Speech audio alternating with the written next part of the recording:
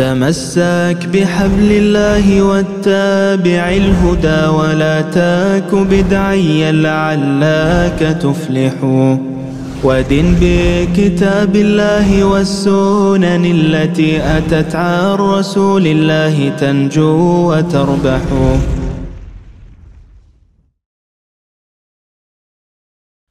بسم الله الرحمن الرحيم. الحمد لله رب العالمين. وصلى الله وسلم على رسوله الأمين وعلى آله وأصحابه أجمعين. اللهم أصلح لنا نياتنا وذرياتنا وأحسن ختامنا يا أرحم الراحمين. أما بعد بدأت حق ذاك درس مزدوم الترامز بس كان درس مزدى بدأت حقيقة نما كان لكن بيان تعريفا تعريف ذكر قلديك أيتكي البدعة هي ما أحدث في الدين من غير دليل. بدأت تجانا مزبو دين دا دليل سيس بيدا قلنجان حركان دي سوز يا أمل yo e'tiqodga bidat deyiladi dedik. Mana bu bidatning tarifi edi. Endi bidat bilan ma'siyatning orasidagi farq nima? Bidatga taalluqli e, ikkinchi masala. Avvalgi darsda ta'rifini o'tdik. Birinchi masalani ikkinchi masala bidat bilan ma'siyatning orasidagi farq. Ma'siyat nima? Gunoh ish. Ma'siyat deganimiz gunoh ish. Shu oddiy gunoh ish bilan bidatni farqi nima? Albatta buni ajratib olishimiz kerak. Ajratib olishimiz kerak.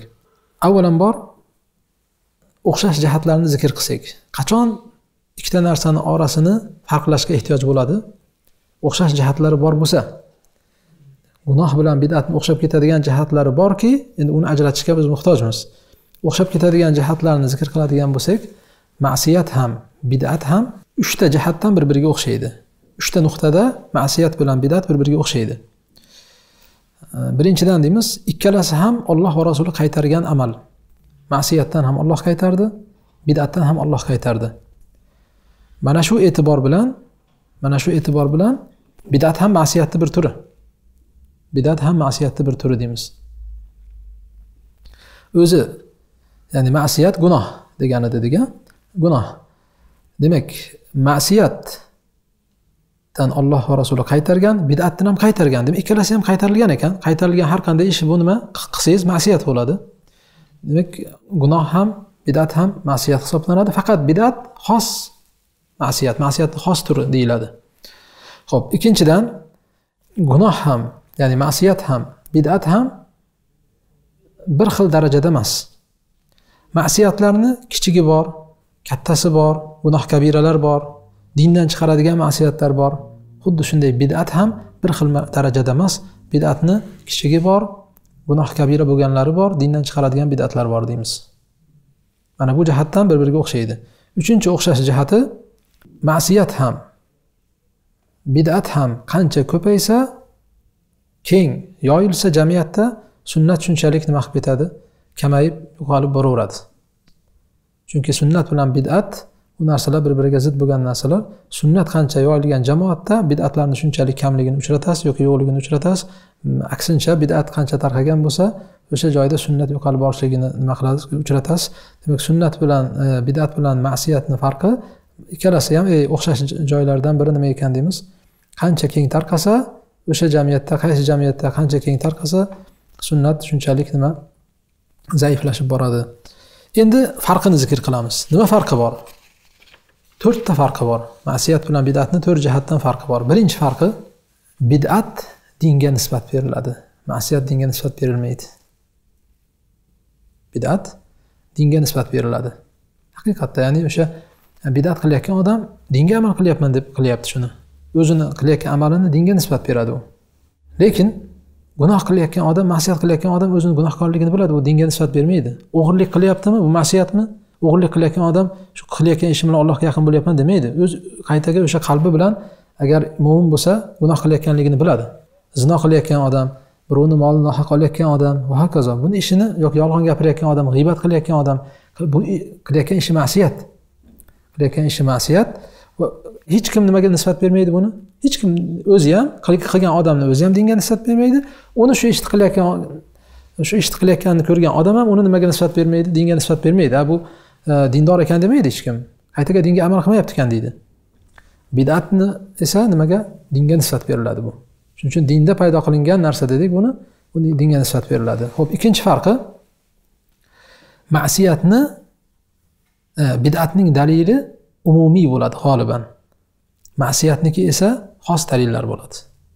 Bid'atni dalili umumiy deganimiz har bir bid'at uchun alohida oyat hadis kelmaydi o'tgan darsimizda aytgandek umumiy dalil kelgan bo'ldi. Kim bizni ishimizda dinimizda yo'q narsani paydo qilsa uni amali mardud deyildi hadisda. Bo'ldi. Umumiy dalil bor. Har qanday bidatga mana shu hadisni nima qilaveramiz hujjat qilaveramiz.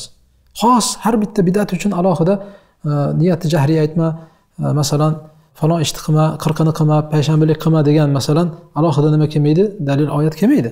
Lekin ma'siyatchi ma'siyatda alohida dalil topamiz. O'g'irlik qilma. Zino qilma odam o'ldirma. Alohida dalillar topamiz. O'zi ma'siyat nima degani? Ma'siyat degani bo'ysunmaslik.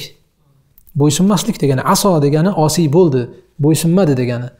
Bu nima degani? Alloh taoloni har bitta buyurgan buyrug'iga bo'ysunmasligingiz yoki olloh tiyil degan narsadan tiyilmasligingiz mana bu ma'siyat deyiladi. Olloh namoz o'qi dedi kimdir namoz o'qimasa bu ma'siyat qilyapti deymiz. Olloh zakot ber dedi qodir bo'lib zakot bermasa bu ma'siyat qilyapti. Chunki ollohni buyrug'iga bo'ysunmayapti. Olloh zinodan tiyil dedi. Tiyilmagan odam ma'siyat qilyapti. Olloh o'g'irlik qilma dedi. Qilgan odam ma'siyat qilyapti deymiz. Demak ma'siyatni dalili xos bo'ladi. Har bitta ma'siyatga dalil bo'ladi. Lekin bid'atni dalili umumiy. Alohida bid'at nima? Falon amal bid'at deb kelmaydi. Bu ikkinchi farq. Uchinchi farqi. Eng asosiy farqlardan biri bid'atning xatari ma'siyatning xataridan ko'ra ko'proq deymiz. Ya'ni bid'at ma'siyatga qaraganda xatarliroq hisoblanadi. Qaysi jihatdan? Bir qancha jihatdan. Birinchidan nega bid'atni ma'siyatdan xatarli deyapmiz? Birinchidan gunoh qilgan kishini ma'siyat qilgan kishini ziyoni o'ziga g'oliban ziyoni o'ziga g'iybat qilsa erta kuni g'iybatiga javob beradi bu o'ziga e, o'g'irlik qilsa erta kuni qiyomatda javob beradi bu o'ziga va hokazo. Lekin bid'at qilgan kishichi buni ziyoni butun jamiyatga bo'ladi. Uni ko'rganlar ha falon narsa dinda ekan deydi. O'sha ota bobolarini masalan hozirgacha kelyapti mana ota bobolarimiz shu ishni qilib kelgan deydi. Demak ota bobosini hujjat qilib oladigan bo'ladi. O'shalar bidat qilgan bo'lsa dalilga suyanmay qilgan bo'lsa endi kimdir keyingi kelgan avlod masalan ota bobomiz shuni qilib kelganku deydi. Demak buni dindan deb bilib ular bilmaganmi deydi. Sen bilgan narsani ular bilmaganmi deb shuni hujjat qiladi odatda masalan ba'zi bir bidat amallarda. Demak ergashiladi bidatda. Mana bu jihatdan e, faqat ziyoni o'ziga emasda bu.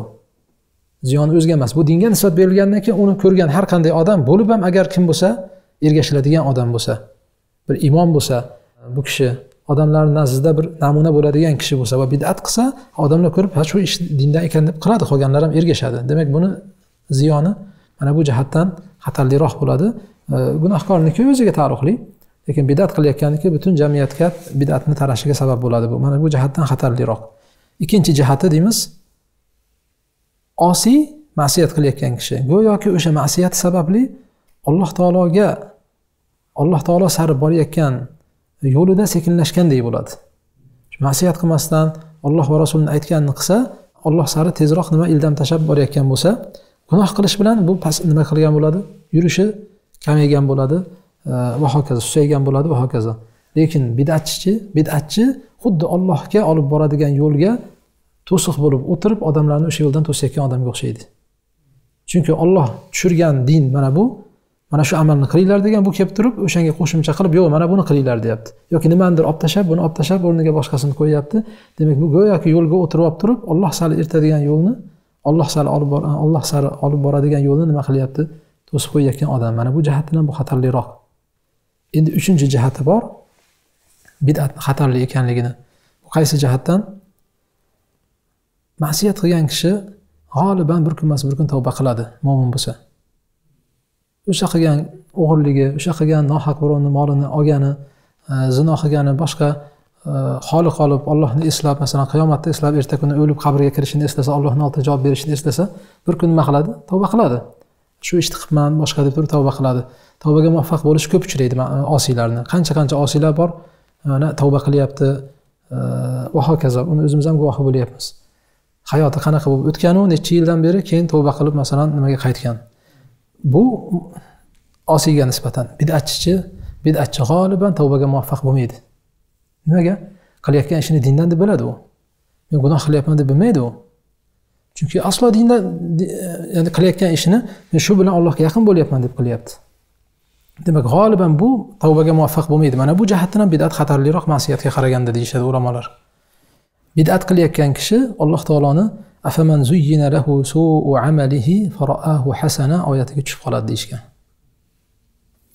Ya'ni axir qilgan yomon amali o'ziga chiroyli ko'rinib uni yaxshi bir go'zal amal deb o'ylagan kimsa alloh taolo haq yo'lga hidoyat qilgan kimsa bilan barobarmi? Yo'q teng bo'lishi mumkin emas.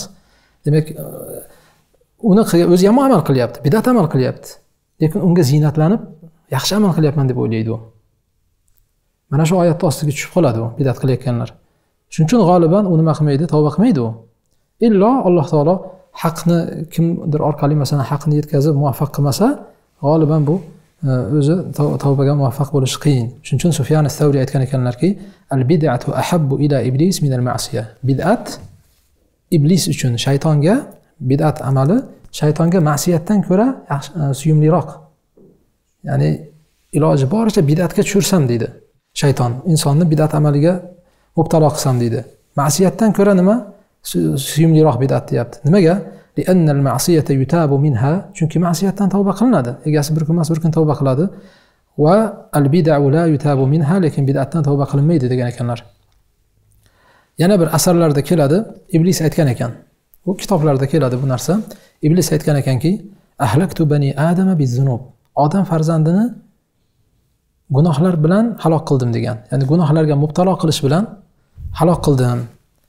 Va ahlakuni bil istig'for lekin odamlar ortidan istig'for aytish bilan meni halok qildi. Men shuncha harakat qilib ularni gunoh gunoh qilishga chaqirib gunoh qilishga sababchi bo'lamanu lekin orqasidan istig'forni aytadida butun gunohlar qaytadan yuvilib ketadi. E, meni esa ular istig'for bilan nima qildi? Halok qilyapti. Men ularni iloji boricha ma'siyatga undayapman. Ma'siyatni qilib qo'ygan odam ham keyin erta kuni istig'for aytib allohni rahmati kim kechirim so'rasa kechiraman degan ortadan istig'for aytsa yana qaytadan nima butun qilgan xizmatim go'yoki nima puchga chiqib ketyapti e, deyapti. Keyin aytyaptiki demak odam farzandini men gunoh bilan halok qildim ular esa istig'for va la ilaha illalloh bilan meni halok qildi. Falamma roaytu zalik endi odamlarda shu narsani sezganimdan keyin basastu fihimul ahva degani bid'atlarni tarqatdim odamlarni orasida. Fahum yuznibun va la yatubun endi ular gunohni qiladiyu lekin tavba qilmaydi deyapti. Chunki ma'siyat qilganda tavba qilib istig'for aytyotgandi orqasidan. Shuncha qilgan harakatim bekor bo'layotgandi endi ularni orasida bid'atlarni tarqatdim endi ular nima qiladi? Ma'siyat qilib endi gunoh nima? Tavba qilmaydi. Chunki qilayotgan amalni yaxshi amal deb o'ylaydi. Shu allohga yaqinlashtiryapti deb qiladi bu amalni. Demak mana bu jihatdan nima? Uchta jihatni zikr qildik. Mana shu uchta jihatdan bid'at nima hisoblanadi? Ma'siyatga qaraganda xatarliroq hisoblanadi. Shuning uchun shayxul islom rahimaulloh e, majmuul fatova kitobida aytadilarki ahlul bidai sharrun min ahlil maasi shahvaniya bis sunnati val ijma. Bid'at ahli ma'siyat ahlidan ko'ra yomonroq.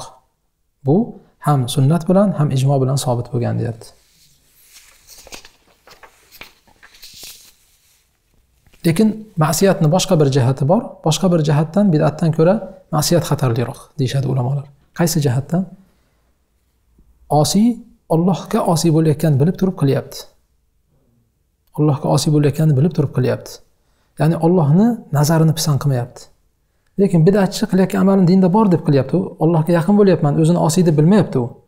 Mana bu jihatdan osiyni ishi qiyinroq. Bu degani ma'siyatni yengil sanash kerak degani emas chunki olloh qaytardi buni. Olloh qaytargan ishni olloh ko'rib turibdi deb e'tiqod qilib ham qilish mana bu jihatdan go'yoki allohni nazarini pisand qilmaslik jihatidan osiy bidatdan ko'ra nima xatarliroq deyiladi. Shuning uchun ahli ilmlar bidatchilarni bidatchilarni ayrim bidatchilarni hadislarini qabul qilgan rivoyatlarini lekin fosiqlarni rivoyatini qabul qilmagan. Chunki fosiq fosiq agar fosiqligi sobit bo'ladigan bo'lsa bu xatari nimada? Ollohdan qo'rqmasdan o'g'irlik qilyaptimi yo- g'iybat qilyaptimi? Va hokazo demak ollohdan qo'rqmasdan yolg'on gapirib nima hadis aytishda ham yolg'on aytish mumkin.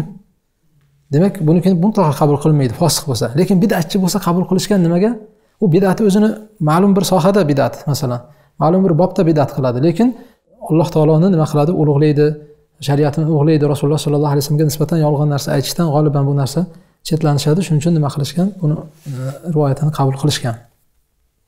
To'rtinchi farq. Demak hozir uchta farq zikr qildik. Masiyat bilan bidatni orasida to'rtinchi farq nima? Bid'atdan ogohlantiradigan bid'atdan qaytaradigan kishiga odamlar g'oliban ma'siyatdan qaytaradigan kishiga qarshi chiqqandan ko'ra ko'proq qarshi chiqishadi. Ya'ni odamlarni bid'at qilmanglar deb bid'atdan ogohlantirayotgan kishiga ko'proq qarshilik bo'ladi gunoh ishni qilayotgan odamni ogohlantirganlarga qaraganda.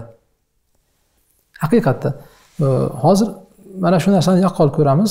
Biron bir amalni chiqib e, mana bu bidat ekan shuni qilmaylik alloh va rasuli buyurmagan ish ekan desangiz birdaniga boshlaydi. Shuncha vaqtdan beri qilib kelyapmiz jamoatdan ajrayapsan hamma jamoat qilib kelayotgan ish bu deydi. Ota bobomiz qilib kelyapti ular bilmaganini sen bilsan va hokazo bidatni qaytaraman desangiz qarshilik ko'proq uchratasiz. Lekin gunohni gunoh ishni qilsangiz qarshilik uchratishingiz mumkin qarindosh urug'ingiz boshqangiz va hokazo qarshilik uchratish mumkin g'oliban dinsizlardan bo'ladi bu qarshilik bo'lsa ham.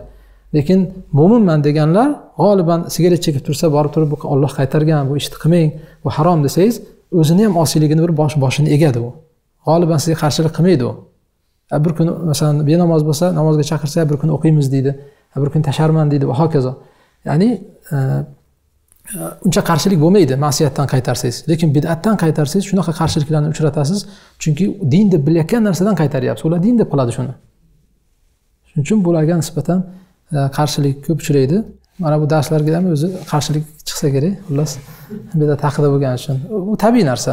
Lekin e, alloh va rasuli qaytarayotgan narsa bo'lgandan keyin iloji yo'q bu narsani bayon qilish kerak. Bayon qilish kerak bo'ladi. Demak xulosa ma'siyat bilan bid'atni orasida nechta farq bor ekan? To'rtta farq. Birinchi farq nima dedik? Bid'at dinga nisbat beriladi ma'siyat dinga nisbat berilmaydi. Ikkinchi farqi? Bid'atni dalili umumiy bo'ladi. Demak xos dalil so'rab yurmang bid'atga. Umumiy dalil kifoya. Ma'siyatni dalili xos bo'ladi. Ikkinchidan e, uchinchidan bid'at ma'siyatga qaraganda xatarliroq uni uchta jihatdan xatarliroq dedik. To'rtinchi farqi bid'atdan qaytarayotgan kishi bid'atdan ogohlantirayotgan kishiga ko'proq qarshilik bo'ladi. Ma'siyatdan ogohlantirayotgan kishiga qaraganda. Mana bu to'rtta farq. Ho'p endi e, shundan ko'rinib turibdiki mana to'rtta jihatdan bid'at nima ekan? Ma'siyatdan xatarliroq ekan. Shuning uchun ulamolar gunohni bo'lgan paytda gunohni ma'siyatni darajalarini bo'lgan paytda nima deyishadi? Shirk bid'at keyin ma'siyat deyishadi. Ya'ni eng katta gunoh shirk bo'lsa keyingi martabada bid'at bo'lgan amallar turadi keyin ma'siyat turadi.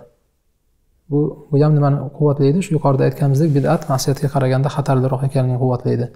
Ho'p uchinchi masala hukmul bida bid'atning hukmi. Oxirgi masala bu darsimizda bid'atni hukmi. Ho'p bid'at hukmi nima? Deyilsa bid'at harom bo'lgan amal hisoblanadi. Muharrom shariatda harom bo'lgan qat'iy harom qilingan amallardan hisoblanadi. Bid'atni makruh bo'lgani yo'q. Shuni yaxshi bilib olaylik. Bid'at modomiki amal bid'atmi makruh bo'lmaydi hech qachon. Har qanday bid'at harom. Undan boshqa hukmi yo'q. Ho'p endi bid'atni turiga qarab bu haromlik gunoh kabira bo'lishi mumkin va nima bo'lishi mumkin? Dindan chiqarib yuboradigan bid'at bo'lishi mumkin lekin nimaga tushmaydi? Haromlikdan pastga tushmaydi. Yuqoriga chiqishi mumkin. Gunoh kabira bo'lishi mumkin.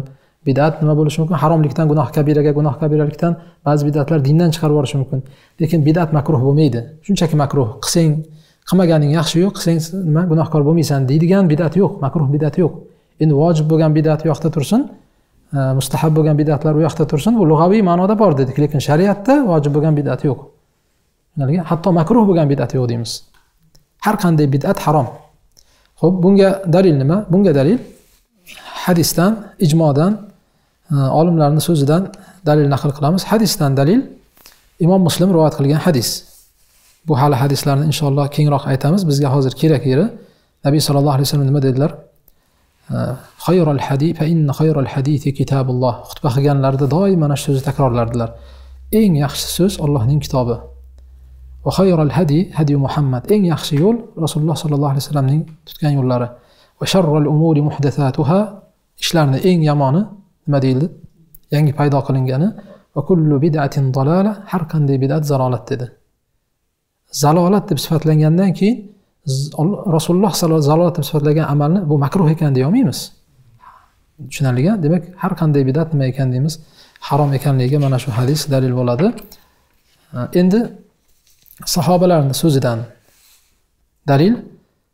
Imom bayhaqiy madhal ila ilmi sunan kitobida aytadilarki an ibn umar ibn umar roziyallohu anhudan naql qiladilar. Aytgan ekanlarki kullu bid'atin dalala va in ra'aha nasu hasana. Har qanday bid'at zalolatdir agarki odamlar uni yaxshi deb sanashsa ham. Bid'a va in ra'aha nasu hasana dedi. Demak bid'at hasana bor ekan demang. Ibn umar roziyallohu anhu nima dedilar odamlar uni yaxshi deb atasa ham bilingki har qanday bidat nima deyapti? Zalolat deyapti. Bu nimaga dalil? Bidatni yaxshi yomoni bo'lmaydi bidatni hammasi yomon harom hisoblanadi. Chunki bidatni haqiqatini bildik biz. Ollohni shariatini o'zgartirish deyapmiz. Ollohni qonunini o'zgartirish bu oson ish emas bu. Shunchaki makruh ish bo'lmaydi bu. Ollohni shariatini o'zgartirilyaptimi yo olib tashlab yo kamaytirib yo o'zgartiryaptimi bu endi haromdan boshqa narsa emas harom bo'ladi. Ho'p endi ijmodan e, ijmo naql qilamiz. Uchinchidan shayx al islom rahimaulloh iqtido sirotil mustaqim kitobida aytadilarki masala anna kulla bid'atin fid dini dalalatun muharrama. Dindagi har qanday bid'at zalolat va harom hada mimma ajma alayhi sahaba va salafu solih bunga sahobalar va salaf solihlar ijmo qilishgan deyapti. Demak ijmo bor bu masalada. Har qanday bid'at harom ekanligiga. Shotibiy rahimaullohning i'tisom degan kitoblari bor mashhur. Bid'at haqida yozgan i'tisom degan kitoblari bor. Shu bobda yozilgan eng e, mo'tamad kitoblardan. Shu kitobda nafaqat bid'atni harom bo'lishi balki har qanday bid'at gunoh kabira degan boshida har qanday bid'at gunoh kabira. Deb keyin sag'irasi ham bormi? Ya'ni gunoh kabiraga yetmas yetmaydigan darajada harom bo'lishi mumkinmi? Deb bu bunga ham dalillar olib keladi. Ha bidatlarni orasida chunki bidatlarni har xil darajalari bor bidatni orasida gunoh kabiraga yetmaydigan harom bo'lgan bidatlar bo'lishi mumkin. Deb aytadilar. Lekin oxirida xulosa qilib mabodo bidatni sag'irasi bor desak ham ya'ni bidatlarni orasida gunoh kabira bo'lmagan harom ishlar harom bo'lgan bidatlar bor desak ham uni sag'ira bo'lib qolishi uchun gunoh kabira bo'lmasligi uchun uchta shart bor deydi. Ammo mana bu uchta shart topilsa baribir gunoh kabira bo'ladi deydi. Demak imom shotibiyni nazdida aslida gunoh kabira bo'lishi kerak edi hammasi. Lekin ba'zi dalillarni olib kelib gunoh sag'ira ham bo'lishi mumkin. Mayli shu gunoh sag'ira bo'lsa ham deyapti taslim bo'lsak gunoh sag'ira bo'lgan bid'atlar bor desak ham sag'iradan maqsad bu yerda kichkina degani kattaga nisbatan kichkina degani. Asli harom. Harom bo'lgan bidatlar bor gunoh kabiraga yetmaydigan bidatlar bor desak ham lekin uchta shartni qo'yamiz degan. Uchta shart bilan bu sag'ira bo'ladi. Bo'lmasa e, kabir gunoh kabira bo'ladi deydi. Qaysi shartlar? Aytadilarki birinchi sharti aytyaptiki anna minal bid'i ma yakunu saghiratan fadhalika bi shurut mabodo bid'atni sag'irasi bor gunoh kabiraga yetmaydigan harom bo'lgan bid'atlar bor deb taslim bo'lsak ham deydi. Bu bir qancha shart topilsa bo'ladi deydi. Birinchi sharti alla yudavima alayha deydi. Doim qilmaslik kerak deydi. Agar shu bidatni doim qilsa u endi gunoh kabira bo'ladi deyapti. Bidat qilgan bidati gunoh kabira bo'ladi deyapti. Chunki sag'ira bo'lgan har qanday gunoh doimiy qilinishligi bilan kabiraga aylanadi bu ahli ilmlar nazdidagi qoida والإصرار على الصغيرة يصيرها كبيرة ولذلك قالوا لا صغيرة مع إصرار ولا كبيرة مع استغفار shuning uchun ulamolar nazdidagi mashhur qoida nima davomiylik bo'lish bilan gunohni sag'iraligi qolmaydi ya'ni kichkina gunoh bo'lsa ham o'zi gunoh kabira bo'lmasa ham lekin shuni doim qilsangiz shu doim qilgan kishi uchun bu kabira endi masalan sigaret chekishga e, nima dalil bor deydi? Mabodo ba'zida aytsangiz makruh emasmi deydi ba'zilar. Va hokazo. Haromligida shak shubha yo'q. Lekin shuni mabodo gunoh kabira emas sog'ira degan taqdirda ham shuni doimiy qilib yurishlik bilan gunoh kabira bo'ladi. Va hokazo. Qolgan g'iybat masalalari ham va hokazo. Buni doimiy qilib yursangiz e, bu endi gunoh nima? E, kabiraga aylanib qoladi o'zi sog'ira bo'lsa ham. Shuning uchun doimiy qilmaslik sharti bilan gunoh sag'ira deb aytamiz. Bidatni bidat sag'ira deb aytamiz deyapti. ikkinchi sharti alla yad'u ilayha o'sha bidatiga odamlarni da'vat qilmasin deyapti shu sharti bilan فإن البدعة قد تكون صغيرة بالإضافة ثم يدعو مبتدعها إلى القول بها والعمل بمقتضاها فيكون اسم ذلك كله عليه deyapti gohida bidatni o'zi sag'ira bidat bo'lishi mumkin ya'ni harom bidat bo'lishi mumkin gunoh kabira darajasiga yetmaydigan bidat bo'lishi mumkin lekin shu bidatni qilayotgan kishi o'zini bidatiga chaqiradi Amal qilishga chaqiradi odamlarni da'vat qiladi. Sizlar ham jahriy aytinglar deydi. Masalan jahriy masalasida va hokazo agar odamlarni ham shunga da'vat qilsa deyapti. Nima deyapti? Ismu zalika kullihi alayh. O'sha bidatga amal qilganlarni hammasini gunohi shu bunga chaqirganga bo'ladi. Endi chaqirgan odamga nisbatan bu sag'ira bo'lib qolmaydi bu endi gunoh kabira bo'ladi. Chunki qancha odamlarni bu narsaga zalolatga nima qilyapti ergashtirishga sababchi bo'lyapti. شنشان تبتكي فإنه الذي أثارها وبسببه كثر وقوعها والعمل بها. شنك بو بدأتنا بايدو أخي يعني يوكي بايدو أخي يعني بسيم أثارها دي يعني بو بدأتنا كين يوشك سبب شبو يعني شو كشبو لي يبت. شو سبب لي كين ترقال دي بو أمال دي يبت. كين؟ قرين. حديث دليل قل يبت. فإن الحديث الصحيح قد أثبت أن كل من سن سنة سيئة كان عليه وزرها ووزر من عمل بها. Hadisda keladi kim yomon ishga asos solsa yomon ishga bir asos soladigan bo'lsa unga o'sha ishni gunohi bo'ladi. Va vizru man amila biha va shu gunoh ishga amal qilganlarni ham gunohi unga bo'ladi. Min g'ayri an yanqusa min awzarihim shay'an keyingi amal qilganlarni gunohidan biron narsa kamaymagan holatda avvalgi boshlab bergan odamga ham nima bo'ladi? Gunoh bo'ladi deyapti. Odatda mana shu hadisni bidat hasanadagilar dalil qilishadi. Lekin nima? Shotibiy rahmaulloh buni o'sha qaytaga bidat paydo qilib shunga da'vat qilayotganlarga bu qarshi bo'ladi. E, inshaalloh bu hadisga yana hali to'xtaymiz. Demak ikkinchi sharti nima ekan? Da'vat qilmaslik sharti bilan. Uchinchi shartichi alla tufala fil allati hiya nas odamlar jamlanadigan joyda qilmaslik sharti bilan bu sag'ira bo'ladi. Lekin odamlar jamlanadigan masjidlarda hammani ko'zi tushadigan joyda qilsa deyapti bu bidat sag'ira bo'lmaydi endi bu bidat gunoh kabira bo'ladi deyapti. E, sunnatlar nima qoyim qilinadigan sunnatlar bajariladigan yani odamlar yig'iladigan joyda qilmaslik kerak deyapti. Ya'ni shariatni e, amallari izhor qilinadigan bir joylarda oshkor qilinmaslik kerak. Shu shart bilan sag'ira bo'ladi deyapti. Ammo odamlar jamlanadigan joyda bo'lib ham iqtido qilinadigan ergashiladigan kishilardan bidat qilinsa deyapti. Deyapti. yoki yaxshi gumon qilinadigan kishilar imom falonchi olim deyilyapti sifatlanadi odamlar ergashadigan kishidan bo'lsa bu bo'lib ham deyapti bidatga da'vat qilish yoki bidatga amal qilish nima deyapti فذلك من أضر الأشياء فذلك من أضر الأشياء على سنة الإسلام bu islomdagi sunnatga eng zarar beradigan narsa mana shu deyapti فإنها لا تعدو أحد أمرين deyapti keyin so'zini davomida aytadilarki وإذا اقتدى بصاحب البدعة الصغيرة كبرت بالنسبة إليه وإذا اقتدي بصاحب bidati sag'ira o'sha sag'ira bidatni gunoh kabiraga yetmaydigan darajadagi harom bo'lgan bidatni qilayotgan kishiga nisbatan uni bidati gunoh kabira bo'ladi. Qachon? Agar ergashiladigan bo'lsa. U chaqirmayapti. Odamlarga shu ishni qilinglar demayapti. Odamlarni nazdida shu ishni qilishligini o'zi kifoya. Bu odamlar ko'rib ha falonchi qilibdiku deydi. Falonchi qilyaptiku deydi. Odatda shunaqa bo'lardi. Ba'zi bir e, qabri bor masjidlarda qabr bor qabr qabr qo'yilgan ekan o'qimang desa falonchi olim o'qidiku deydi. Demak uni nima qilib oladi keyin hujjat qiladi.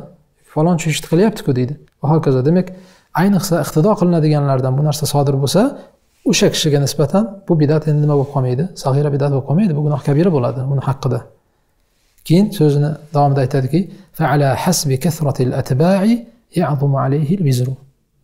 shunga ergashganlarni soniga qarab gunohi ham ko'payaveradi deyapti. Qancha odam ergashsa shunga shuncha gunoh ko'payaveradi deyapti. To'rtinchi shart alla yastasg'iraha va la yastahqiraha. To'rtinchi sharti o'sha qilayotgan bidatini bidat kabira bo'lmasligi uchun nima sanamasin? Uni e, yengil sanamasin deyapti shu shart bilan. E, nima bo'libdi niyat qilsak qilibmizda masalan shunchaki dil bilan birga bo'lyaptiku deb hech narsaga o'xshatmasa bu buni haqida endi gunoh nima bo'ladi deyapti bu sag'ira bo'lmaydi kabira bo'ladi deyapti gunoh kabira bo'ladi deyapti yengil sanamaslik sharti bilan deyapti فإن ذلك استهانة بها والاستهانة بالذنب أعظم من الذنب qarang chunki gunohni pisand qilmaslik gunohni qilishni o'zidan ko'ra og'irroq gunoh bir kimdir gunoh qilyapti g'iybat qilyapti g'iybat qilishi katta gunoh gunoh kabira u g'iybat qilma desangiz e, ishing bo'lmasin deb turib hech narsaga o'xshatmaslik qilayotgan gunohini. Mana buni o'zi hech narsaga o'xshatmasligini o'zi yengil sanashligini o'zi shu qilgan g'iybatidan ko'ra og'irroq gunoh. Xuddi shunday bidatchini ham qilayotgan bidatini qaytarsangiz "A, nima bo'libdi deydi. Ko'p bidatlar bor. Haqiqatda nima ziyoni bor deydi. Qur'on o'qiyapmizku deydi. Masalan doim bir kunni doim payshanba kuni masalan e, ish chiqarib bir qur'on o'qiveraylik desa masalan shuni odatlansa shunchaki qur'on o'qiyapmiz nima qilibdi? deydi. Mana shu nima qilibdi deyilmaydi bu. E, bu yerda nima? Modomiki shu narsani yengil sanayaptimi? Buni haqqida endi gunoh kabira bo'ladi. Endi o'ylab ko'ring bu to'rtta shart. To'rtta shart. Topiladigan odam bormi o'zi? Bidat qiladiganlar orasida g'oliban bu to'rtta shart topilmaydi. Albatta shu bitta shartni biriga nima qilib qoladi tushib qoladi. Yo uni yengil sanaydi yo shunga da'vat qiladi yo odamlarni nazda qiladi. Demak odamlarni nazdida keng tarqalgan bidatlarni orasida shotibiy rahmonallohni gapiga ko'ra sahira bo'lgan bidat yo'q bidatlarni hammasi go'yoki nima? Gunoh kabira. Oddiy gunoh emas gunoh kabir gunoh kabira bo'ladi deyapti. Gunoh kabira bo'ladi deyapti.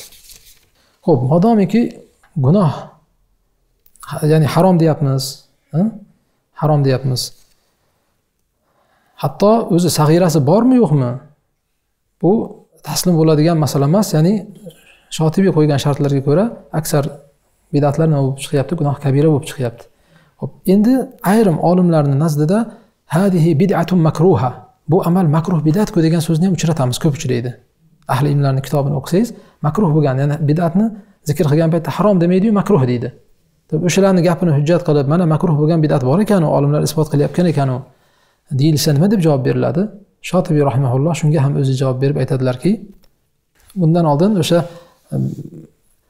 bidatni gunoh kabira ekanligiga dalolat qiladigan dalillarni olib keladi mabodo sag'ira desak ham uni shartlari bor gunoh kabira bo'lmasligi uchun deb shartlarni qo'yib keyin aytadilarki والشواهد في هذا المعنى كثيرة وهي تدل على أن الهين عند الناس من البدع شديد وليس بهين demak odamlar nazdida yengil sanalgan bid'at olloh nazdida bid'at nima yengil emas ekan bu og'ir narsa ekan deydi odamlar u hech narsaga o'xshatmayapti nima bo'libdi deydi qur'on o'qiyapmiz yig'ilyapmiz mavlidni masalan bo'lmaydi bu bidat desangiz rasulullohni siyratini o'qiyapmiz deydi. E, duo qilyapmiz haqlarga shunga o'xshagan gaplarni aytadi. Aslida e, bir qancha munkar ishlarni qiladi u yerda ba'zilari mabodo munkar ish qilmaydi desak ham nega siyratni shu kunga kelib taqab o'qiysiz? Nega boshqa kunda o'qimaysiz? Undan bir kun oldin o'qimaysiz. Nega bir kun keyin o'qimaysiz? Hamma yilni hammasida o'qiyvering siyratni lekin ayni shu kunni belgilab bir bayram sifatida nishonlab shu qilayotgan amali bilan alloh taologa yaqin bo'lyapman deyish bu bid'atdan boshqa narsa emas bu. U bid'at amal. Shu nima bo'libdi deyishlik? Mana bu yengil sanash. Nima nima deyapti? Shotibiy rahmaulloh annal hayyina indan nasi minal bidai odamlarni nazdidagi o'sha yengil sanalayotgan bid'atlar valaysa bihayyin ollohni nazdida bu nima emas? Yengil emas. Va tahsabunahu hayyinan va huwa indallohi azim. Oyatini dalil qiladi. Sizlar yengil narsa sanaysizlaru vaholanki u ollohni oldida juda og'ir deganlar. u juda og'ir xullas mana shu gapidan keyin endi makruh degan olimlarni gapini qanday tushunamiz deyilsa gapini ma'nosi aytadilarki وأما كلام العلماء فإنهم إن أطلقوا الكراهية في الأمور المنهي عنها لا يعنون بها كراهية التنزيه فقط mabodo olimlarni nazdida bidatun makruha degan joyini ko'rsangiz o'sha tanzihiy ma'nodagi makruh deb tushunmang bu harom ma'nosidagi makruh demoqchi Va so'zini davomida bu harom makruhga ajratish bu mutaaxir keyin kelgan olimlarni istilohi bu. Ammo mutaqaddim ulamolar bida makruha degan bo'lsa shoshmang deyapti. Buni bu makruhdan maqsad e, nima? Haromni muqobilidagi makruh deb tushunib qolmang deyapti. Bu balki bu yerdagi karohatdan maqsad nima? O'sha tahrimiy karohat.